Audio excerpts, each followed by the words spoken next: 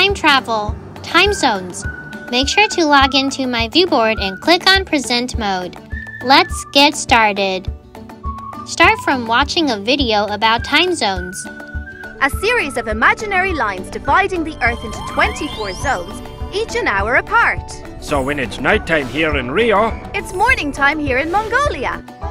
Students can drag the materials around to learn about international dateline, prime meridian, west longitude, and east longitude.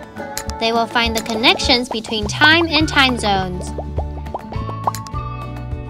Next, use the spin feature to rotate the hour hand in the black pin. Let students team up and discuss what time should it be in the three other places and what activities they're possibly doing. Drag the icons to answer.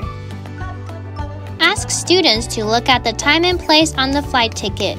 Try to find out the possible destination and use the shape pen to trace the route of the airplane.